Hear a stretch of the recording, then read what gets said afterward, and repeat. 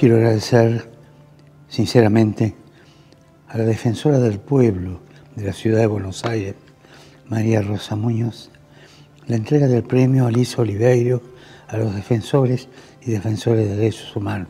Este premio tiene para mí un valor especial porque supone, por un lado, un reconocimiento en la defensa de los derechos humanos, pero también llega en nombre de una amiga, una amiga entrañable, muy querida, con la que hemos vivido más de una situación difícil en Argentina, que este año cumple 40 años de democracia ininterrumpida. Quiero mandar un saludo a tanta gente que trabaja en silencio, sin hacer ostentación, y trabajan día a día por la promoción, defensa y realización de derechos humanos, y que este año han sido reconocidos por la Defensoría del Pueblo con la distinción de personalidades promotoras de los derechos humanos, son valientes y trabajan y trabajaron siempre por la justicia y los derechos. Para nosotros era una entrega muy especial.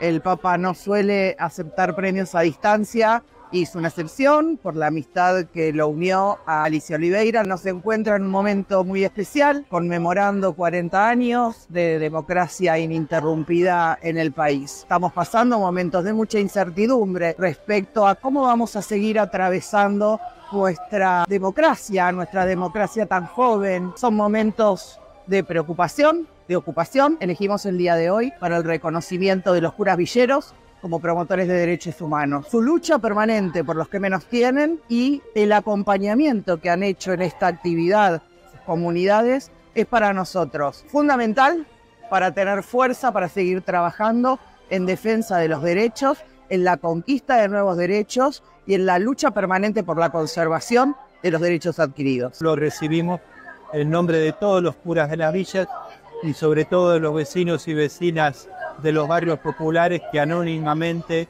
luchan para sacar al barrio adelante y nos muestran fe y una fe que obra por el amor. Estamos a puerta de celebrar la Nochebuena, la Navidad, nace Jesús, renace la alegría. Propone un, modo nuevo de vivir, de fraternidad, un modo de justicia social, un modo de paz. La emoción recibir un premio con el nombre de Alicia Oliveira, y que nosotros crecimos aprendiendo de gente como ella a trabajar por los derechos humanos en estos tiempos en los cuales se necesita, como diría el padre implica estar más que nunca junto al pueblo, un año de alegría porque celebramos los 40 años de democracia y de temores y esperanza en estos momentos tan difíciles donde llegó a la presidencia alguien con un discurso antipueblo y estamos totalmente sorprendidos pero atentos y firmes para defender siempre a los más humildes. Por un lado es una gran alegría en un contexto muy apremiante, sobre todo para nuestros barrios y para, para nuestra gente. Pero estamos ahí al borde de la Navidad y la esperanza que la luz vence toda oscuridad es lo que nos, que nos mueve. Los brazos no se bajan, los brazos siempre están en camino, abrazando al que está al lado. Es un reconocimiento para mucha gente del barrio especialmente mujeres que desde los comedores luchan día a día y trabajan y se esfuerzan y abrazan la vida de muchos vecinos y muchas vecinas para ir recuperando y ir acompañando derechos que muchas veces son vulnerados, como por ejemplo el de la dignidad. Un mensaje importante para este tiempo de la Navidad y de cara sobre todo a arrancar el nuevo año, acompañar los derechos, acompañar a, las personas, acompañar especialmente a los más ancianos, a los niños, a los, los abuelos. No bajar los brazos, abrirlos, abrazar y con esperanza y con mucha luz. Es un reconocimiento a las barriadas y está marcado un reconocimiento al Papa. Para estas fiestas, ponerle lo mejor. Bueno, de las realidades más difíciles que podamos llegar a tener, tenemos la obligación y el derecho de hacerlo cada día más humano para que tantos niños y niñas que hoy andan por ahí desprotegidos puedan tener lo mejor en estas fiestas. Creo que hay una reivindicación